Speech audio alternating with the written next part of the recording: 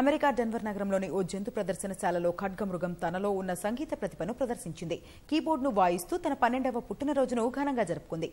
Pre హైన్సెల్ పెదవితో keyboard వాయిస్తూ ట్యూన్ను compose చేసింది. ఇందుకు సంబంధించిన వీడియో ఇంటర్నెట్లో చక్కర్లు కొడుతోంది.